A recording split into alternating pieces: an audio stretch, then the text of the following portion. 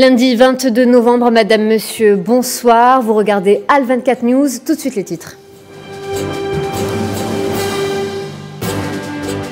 Le Premier ministre soudanais Abdallah Hamdok de retour au pouvoir. Hier, un accord a été signé avec le général Abdel Fattah El-Burhan. On en parle dans un instant.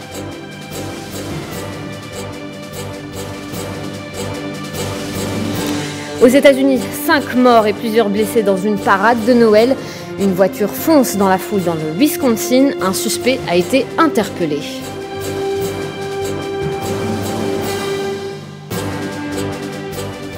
Retour des salons à caractère économique en Algérie au grand bonheur des opérateurs et des professionnels. Nous parlerons du jazz agro, notamment avec notre invitée Chantal Delamotte, directrice du salon.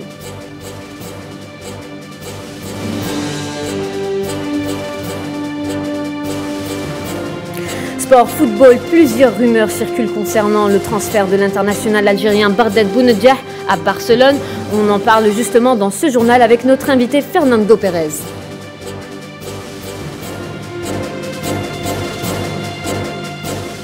Nous le disions à l'instant, le Premier ministre soudanais Abdullah Hamdok, de retour au pouvoir au Soudan. Il a, été rétabli dans ses fonctions suite à un accord signé formellement hier avec le général Abdel Fattah al-Burhan.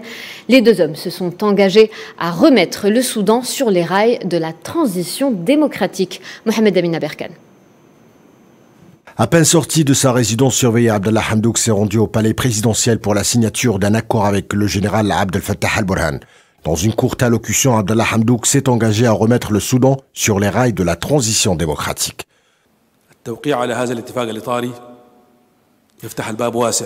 La signature de cet accord ouvre grandement les portes à une transition démocratique ainsi qu'aux différents défis. Je suis persuadé que les deux dernières années, grâce à ce genre d'accord, Plusieurs projets ont été réalisés, dont le désenclavement diplomatique et la traque des terroristes. Mais d'autres défis très importants attendent toujours le Soudan. Avec le courage de tous, on s'en sortira. La transition démocratique se fera à l'aide de tous les partenaires. Ainsi, nous pourrions unifier toute une nation pour la prospérité de ce pays et la mise en place d'un régime démocratique. Malgré la pression de la rue, le général Abdel Fattah al-Burhan est resté inflexible. Il déclare œuvrer pour préserver la transition jusqu'à ce que les rêves de démocratie, de paix et de justice des Soudanais soient exaucés.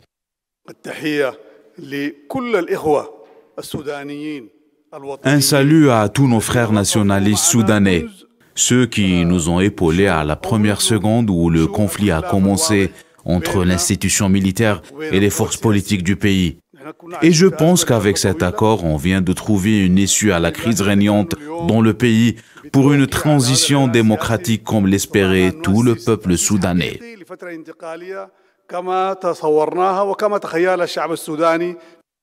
Dans l'après-midi du dimanche, un adolescent a été tué par balle dans la banlieue de Khartoum. De nombreux blessés ont été enregistrés. Jeudi, la haut-commissaire des Nations Unies aux droits de l'homme, Michel Bachelet, a fait savoir qu'au moins 39 manifestants pacifiques avaient été tués par les forces de sécurité soudanaises.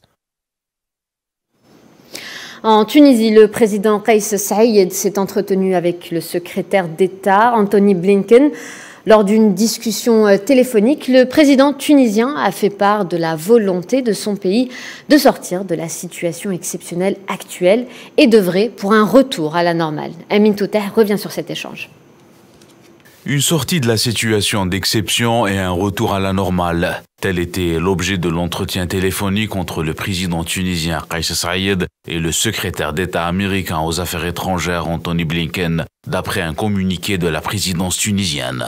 De son côté, le chef de la diplomatie américaine, et via son compte Twitter, a indiqué que cet entretien était une occasion pour discuter avec le président tunisien des derniers développements dans le pays et les initiatives du nouveau gouvernement, tout en soulignant le soutien de la Maison-Blanche au processus de réforme transparent et inclusif pour relever les défis politiques et économiques et sociaux importants de la Tunisie. Cet échange intervient au moment où le secrétaire d'État américain achève une tournée africaine pour la première fois depuis l'élection de Joe Biden à la tête du pays. Une visite importante pour Washington en voie de renforcer ses liens avec le continent africain.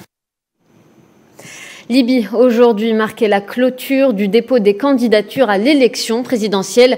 Coup de théâtre hier lorsque le Premier ministre par intérim, Abdelhamid Beibah, a déposé officiellement sa candidature. Il rejoint ainsi Khalifa Haftar et Saif al-Islam al-Kadhafi sur la liste des candidats. Les détails avec MLM Zenzitouni. Bien que théoriquement il ne pouvait pas se présenter aux présidentielles libyennes, vu la promesse qu'il a faite pendant les négociations avec l'ONU qu'il ne serait pas candidat et la loi électorale selon laquelle pour être candidat il faut s'être suspendu de ses fonctions trois mois avant le vote, le premier ministre et homme d'affaires libyen Abdelhamid Dbeibah a déposé son dossier de candidature au siège de la haute commission électorale à Tripoli à la veille de la clôture du dépôt des dossiers.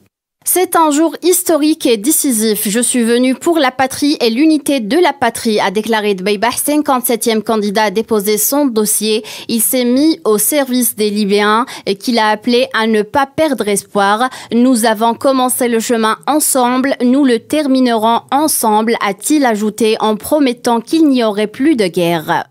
Même si la loi électorale pour la présidentielle soit très contestée, elle pourrait lui faciliter la vie lors d'un éventuel recours devant les tribunaux. Euh, cependant, sur la base de certaines interprétations juridiques, Abdelhamid Dbeibah a été suspendu de ses fonctions par le vote d'une motion de censure le 21 septembre au Parlement. Le 57e candidat au prochain scrutin prévu pour le 24 décembre a réussi un tant soit peu à s'attirer la sympathie des populations dans une Libye rongée par les conflits internes, l'insécurité et une inflation galopante. Après deux années de détention à l'est de la Libye, les sept ressortissants turcs sont libres. C'est ce qu'a déclaré le gouvernement dans un communiqué. Les citoyens turcs ont été rapatriés sains et saufs. Le ministère a également salué les gouvernements libyens et qataris pour leur aide à la libération des sept ressortissants. Le Front Polisario appelle toutes les entreprises étrangères se trouvant sur le sol sahraoui à quitter immédiatement leur territoire, considérant que leur présence dans la région serait une violation flagrante des dispositions du droit international. Le Front Polisario qui qualifie l'appel introduit par le Conseil européen conjointement avec euh, l'Espagne et la France de source de préoccupation profonde dans la mesure où il démontre la conspiration montée par certaines parties européennes avec l'occupant marocain pour continuer à piller les richesses du peuple sahraoui et témoigne de la tentative d'entraver euh, le processus de décolonisation.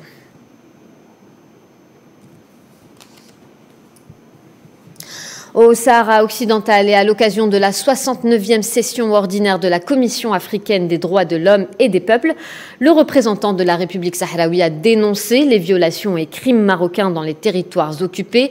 Selon l'agence de presse sahraoui, l'intervenant Weded Mustafa a mis en garde contre la situation dangereuse qui sévit dans les villes occupées du Sahara occidental en citant l'exemple de la situation de la militante Sultana Khaya et sa famille mise sous embargo à leur domicile pendant toute une année. Pour rappel, les travaux de cette commission se tiennent par visioconférence du 15 novembre au 6 décembre prochain. Au Congo, après une prise d'assaut sur une mine d'or, un soldat a été tué et cinq ressortissants chinois kidnappés. L'attaque s'est produite près du village de Mukera. Elle a été menée par un groupe armé encore non identifié. Il faut noter que les relations entre les compagnies minières chinoises et les autorités locales sont tendues en République démocratique du Congo. Les autorités locales accusent la Chine d'opérer sans licence. La France éclaboussée par un autre scandale à quelques mois des présidentielles. Des révélations font état de l'implication des sections de l'armée française dans des raids meurtriers avec l'armée égyptienne. Ils avaient pris pour cible des victimes civiles dans la zone frontalière entre la Libye et l'Égypte. Les faits se seraient déroulés entre 2016 et 2018. Sofiane Baroudi nous éclaire sur le sujet. Le site d'investigation Disclose a provoqué une grosse déflagration. Repris par de nombreux médias, le site révèle la complicité de la direction du renseignement militaire français dans des opérations d'exécution extrajudiciaire à la frontière entre l'Égypte et la Libye. L'opération Sirli serait une mission officieuse pilotée par la direction du renseignement militaire français et le ministère de la Défense égyptien à partir de Marsa Matroh et une grande base ayant pour fonction le contrôle des 1200 km de frontières ouest de l'Égypte. L'affaire illustre l'implication criminelle de l'État français avec l'armée égyptienne, un des principaux acheteurs d'armes des firmes hexagonales dans le ciblage et l'assassinat de civils, principalement des migrants et des contrebandiers pratiquant le commerce transfrontalier aux confins entre l'Égypte et la Libye. Le bilan de ces opérations, selon les informations confidentielles obtenues par Disclose, fait froid dans le dos. Il révèle plus de 19 bombardements entre 2016 et 2018 ayant causé des centaines de victimes civiles. Selon la résolution 5683 de l'Assemblée générale des Nations unies, la complicité de la France dans ces exécutions illégales serait clairement établie, dans ce qui peut être qualifié de crime d'État. Pour rappel, l'État français est déjà impliqué dans l'agression de la Libye en 2011 et la déstabilisation de la région. La France est également accusée de crimes par plusieurs parties. Les forces spéciales françaises ont ensuite fortement soutenu l'offensive menée par le général Haftar depuis 2015, allié à l'Égypte et aux Émirats. Ces dernières sont notamment impliquées dans la terrible bataille de Darna. Sur d'autres terrains d'opération, l'armée française est accusée de crimes contre des civils, à l'exemple du bombardement d'un mariage dans le village de Bounti au Mali ou de l'assassinat de nombreux civils dans la région de Minbej au nord-est de la Syrie. Ce scandale vient s'ajouter à l'isolation diplomatique déjà grandissante de Paris. Il couronne également la grande populaire qu'essuie la France sur le continent africain. En Palestine, une attaque a été menée six mois exactement après la guerre des 11 jours. L'opération Fedaïn a été menée par Fadi euh, Abu Shechidem, tombé en martyr sous les balles de la police sioniste. Il s'agit d'un saut qualitatif dans les procédés de la résistance palestinienne au vu de la localisation de l'opération dans la région de Beb el-Silsila, une des portes de la mosquée El-Aqsa. L'attaque vient en réponse aux multiples provocations et autres crimes menés par des groupes fondamentaux soutenu par l'extrême droite au pouvoir dans l'entité. C'est en conférence au forum d'El Moudjahid que la question épineuse territoire et société face aux crises internationales, Algérie, quelle stratégie de réponse? Elle a été abordée par Mohamed Laïchoubi et a donné lieu à un débat riche sur la question. Tininen Makassi était sur place. C'est un véritable plaidoyer qu'a présenté Mohamed Laïchoubi à l'assistance. Faisant une rétrospective des enjeux de territoire en ces temps marqués par les guerres hégémoniques des grandes puissances. Beaucoup d'analystes estiment que c'est une domination qui parfois été hégémonique. Euh, qui a donné des résultats catastrophiques en Afrique de, de l'Ouest, qui a donné des résultats catastrophiques dans certains pays latino-américains, africains, asiatiques enjeu important pour le tiers-monde, qui fait face à de nouvelles formes de domination. Les opinions sont totalement rattachées, aliénées, ils subissent des propagandes, ils subissent des manipulations. On a vu un certain nombre de pays, c'était les révolutions oranges, c'est les printemps arabes, et l'espace mou, on le connaît chez les stratèges actuels, c'est euh, les pays... Euh, euh, arabes, donc les pays du Moyen-Orient, les pays maghrébins, les pays donc sous espace que certains ont voulu appeler le Grand Moyen-Orient. Et le paradoxe, c'est que c'est un espace géostratégique majeur. Les stratégies défensives et de déstabilisation entreprises par les puissances traditionnelles sont nombreuses. C'est un espace qui va susciter beaucoup de convoitises. Euh, énormément. Et, le problème, c'est que comme ils n'ont pas une capacité de dissuasion, ils sont au centre des convoitises, des hégémonies, des déstabilisations.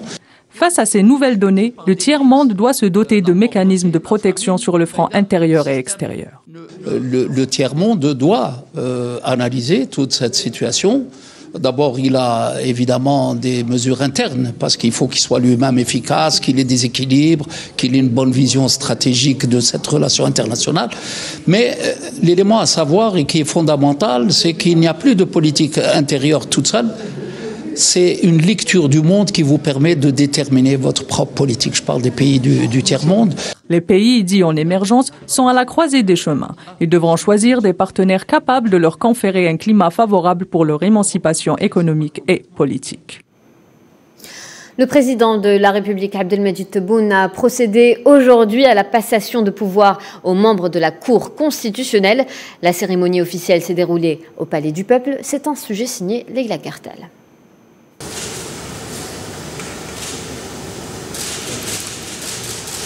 C'est par une cérémonie officielle que s'est faite la passation de pouvoir de la Cour constitutionnelle aujourd'hui au Palais du Peuple.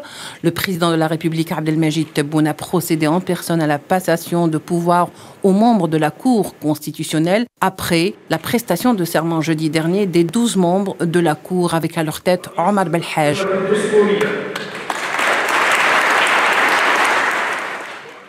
Un passage du concept de conseil constitutionnel à la version de la Cour constitutionnelle. Celle-ci revêt une importance considérable dans l'Algérie nouvelle. Pour les observateurs, cette Cour vise à édifier les institutions de l'Algérie nouvelle. Elle représente une nouvelle institution de contrôle de l'État qui n'a jamais figuré dans les constitutions algériennes successives depuis l'indépendance. D'abord par son nom, sa nature, ses attributions et puis ses missions. Créée dans le cadre du projet d'amendement de la Constitution, la Cour, en sa qualité de contrôle indépendante, est chargée de s'assurer du respect effectif de la Constitution. La Cour compte 12 membres, 4 sont désignés par le président dans Leila Aslawi. Un membre par la Cour suprême, un membre est désigné par le Conseil de l'État. Les six autres membres, profs constitutionnels, sont élus par leur père. Europe redevenue l'épicentre de l'épidémie de Covid-19, les mesures reviennent et les frustrations éclatent. Du côté de l'Autriche, euh, le pays est en reconfinement pour au moins trois semaines, en vigueur depuis minuit.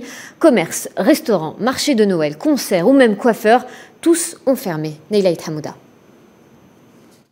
La capitale Vienne et le reste du territoire se réveillent ce lundi dans le silence. Face à la flambée des cas de Covid, les Autrichiens se retrouvent confinés pendant 20 jours. Une première en Europe depuis le printemps. Depuis la mise à disposition des vaccins au plus grand nombre, aucun pays de l'Union européenne n'avait osé franchir le pas. Les 8,9 millions d'Autrichiens ont sur le papier l'interdiction de sortir, sauf pour faire des courses, du sport ou pour des soins médicaux. Il est également possible de se rendre au bureau et de déposer les enfants à l'école, mais les autorités ont appelé à les garder à domicile. Ce nouveau confinement ne passe pas.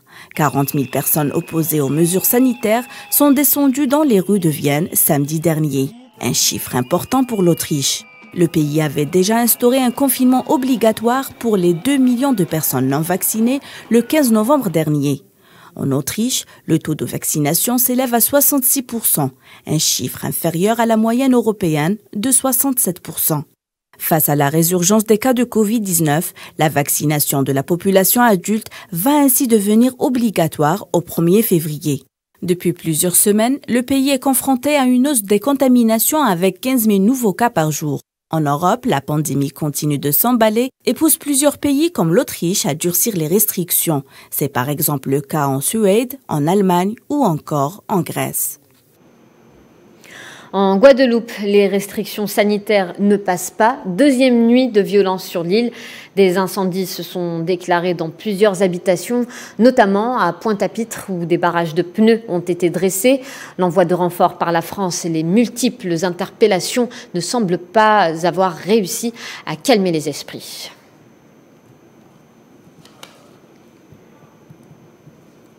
Au Kenya, malgré un taux de contamination assez bas, le gouvernement kényan annonce l'instauration d'un pass sanitaire et ce, à partir du mois de décembre. Les Kenyans devront prouver qu'ils sont entièrement vaccinés contre le Covid-19 pour avoir accès aux services publics, aux transports en commun et aux lieux publics tels que les parcs nationaux, les bars ou encore les restaurants. En France, à Paris, une manifestation contre les mauvais traitements infligés par les autorités aux migrants en situation irrégulière a éclaté. À l'appel de nombreuses associations, les militants se sont rassemblés rue Jean Jaurès dans le 19e arrondissement de Paris et ont défilé jusqu'à la place de la République. Parmi les slogans scandés par les manifestants, ils appellent à protéger les migrants mineurs. Ludovic Holbein, fondateur du collectif Fin aux frontières, déplore la situation précaire dans laquelle vivent près de 2500 500 migrants à Calais et dans les environs.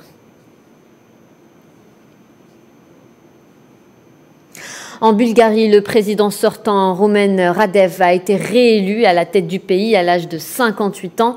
L'ancien pilote de chasse et ex-chef des forces armées, âgé, euh, a recueilli euh, près de 66% des suffrages. Son adversaire Anastas euh, Gerdikov pardon, a quant à lui pu recueillir quelques 33% des voix.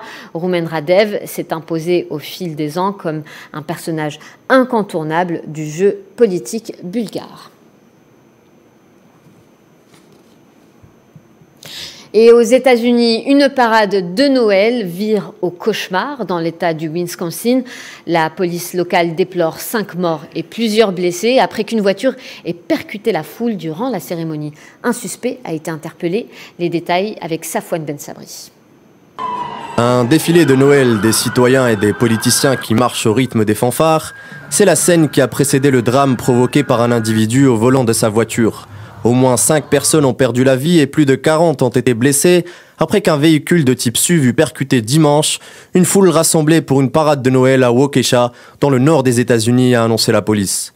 Dan Thompson, chef de la police de Waukesha, a déclaré, je cite, La voiture a renversé plus de 20 personnes. Certaines d'entre elles étaient des enfants et il y a eu des morts à cause de cet incident.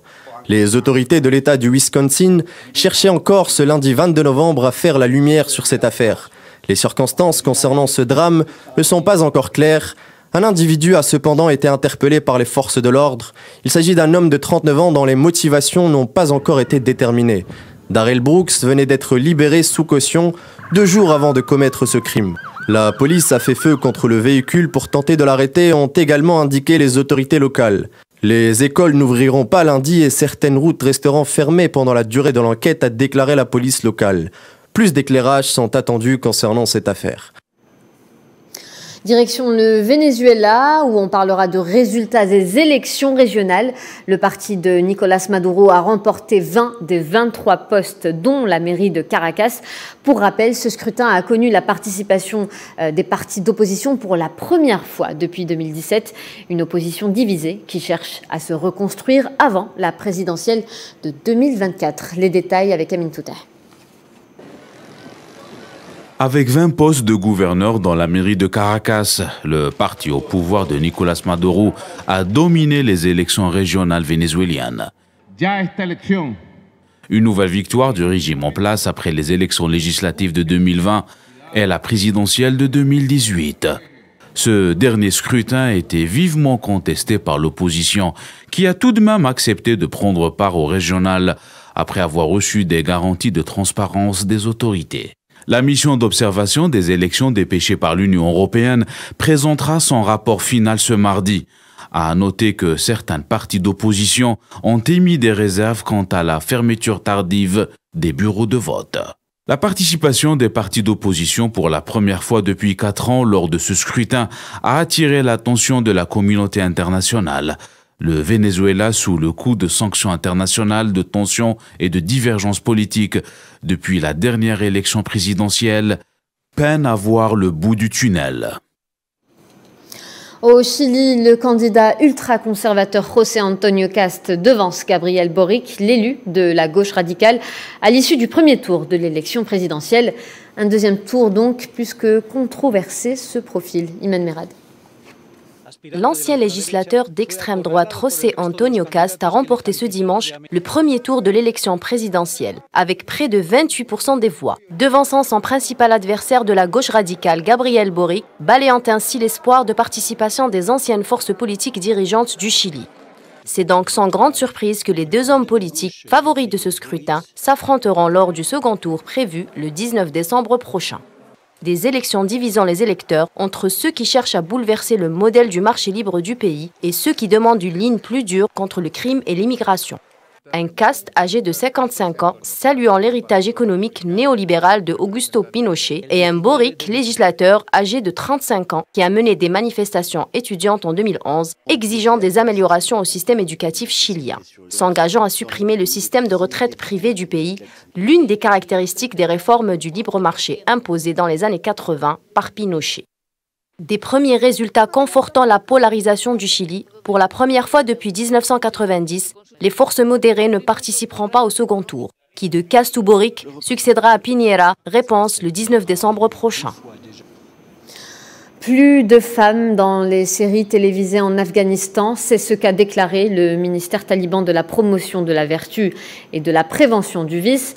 Ce même ministère demande également de faire en sorte que les femmes journalistes portent le voile islamique à l'écran. Autre point, les télévisions doivent éviter de diffuser des feuilletons et séries à l'eau de rose dans lesquelles des femmes ont joué. Le porte-parole du ministère euh, Hakif Mouhadjir précise, je cite, Il ne s'agit pas de règles, mais de directives religieuses Fin de citation. Après une très longue interruption pour cause de pandémie Covid-19, c'est le grand retour des salons à caractère économique en Algérie, au grand bonheur des opérateurs et des professionnels qui retrouvent quelques-unes de leurs plus belles vitrines. Khaireddin Betash. Jour J pour le Jazz Agro, Algest et Logistical, trois manifestations économiques majeures qui ont lieu simultanément à la SAFEX Pain Maritime à Alger. Dédié à la production agroalimentaire, le Jazz Agro aborde sa 18e édition au pavillon central, avec la participation de quelques 130 entreprises pour une édition locale, complétée par une édition internationale du 30 mai au 2 juin 2022. Nous sommes ravis de vous accueillir cette année sur cette euh, édition. Évidemment, c'est une édition de reprise et nous sommes ravis néanmoins, après deux ans d'arrêt, de pouvoir euh, reprendre cet événement euh, qui va redevenir de plus en plus international. Au pavillon Ahagar, c'est le secteur de la sous-traitance qui est à l'honneur dans le cadre de la sixième édition du Salon Algest, organisé conjointement par le World Trade Center Algiers et la Bourse algérienne de sous-traitance et de partenariat. Il cible l'augmentation du niveau d'intégration de l'industrie algérienne pour arriver à une production nationale compétitive. Et nous sommes là aujourd'hui donc à, l'ouverture de la sixième édition du salon de la sous-traitance industrielle. Ça s'appelle Algest, Algérie sous-traitance. Nous avons une participation de plus de 85 entreprises du secteur euh, divers. Autre pavillon, autre salon. À quelques encablures de l'Algest, tombé de rideau sur l'édition 2021 du Logistical, dédié quant à lui à la chaîne logistique, au fret et au transport de marchandises en Algérie. Ce salon euh, vient à point nommé après deux années, bien sûr, de Covid et de stagnation. Nous avons aujourd'hui la participation de plus de 75 entreprises nationales dans le, le secteur du transport, de la logistique. Au-delà de leur caractère purement économique, ces trois salons sont une excellente occasion pour l'Algérie et les opérateurs nationaux de renouer avec les opportunités d'affaires à l'international et de s'ouvrir à de nouveaux marchés sous d'autres cieux. Le salon Jazz Agro qui réouvre ses portes donc du 22 au 25 novembre à la SAFEX à Alger. Un salon euh, très attendu par les professionnels de l'agroalimentaire. Pour en parler avec nous sur le plateau, Madame Chantal Delamode, directrice du salon Jazz Agro. Bonsoir Madame. Bonsoir Madame. Le salon Jazz Agro qui attire à chacune de ses éditions un nombre euh, influent, un nombre croissant d'exposants et de visiteurs. J'imagine que cette année, avec les restrictions sanitaires, euh, on vous a poussé peut-être à revoir le nombre attendu. Euh, comment se sont déroulées dans un premier temps les préparations de ce salon? Bah, Les préparations du salon ont été compliquées parce qu'effectivement c'est un salon qui est excessivement international avec une participation algérienne qui est en général de 25% et 75% d'internationaux. Mmh.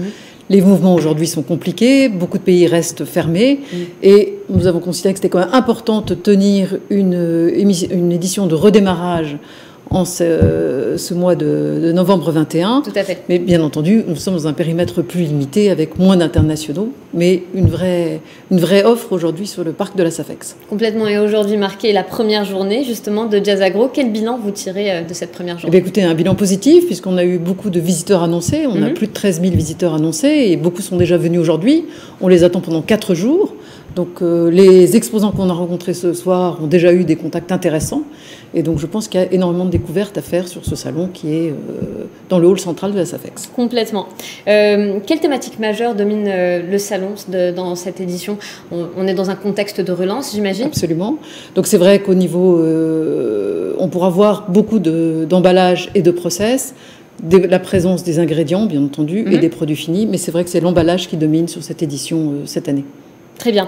Et euh, ce n'est pas le seul rendez-vous Jazz Agro, puisque euh, vous prévoyez un second rendez-vous du 30 mai au 2 juin 2022. Alors là, on renoue complètement avec le Jazz Agro de normal, mhm. avec 750 exposants attendus, dont 75% d'internationaux, et une présence réelle de six secteurs importants que sont à la fois les produits transformés, les produits finis, le process, l'emballage, le matériel de froid et les ingrédients.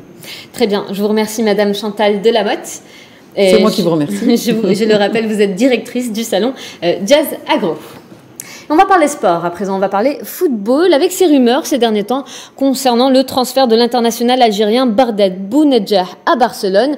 Euh, le premier concerné, euh, Xavi, euh, Xavi plutôt Hernandez, entraîneur du FC Barcelone, a animé aujourd'hui une conférence de presse d'avant-match face au Benfica.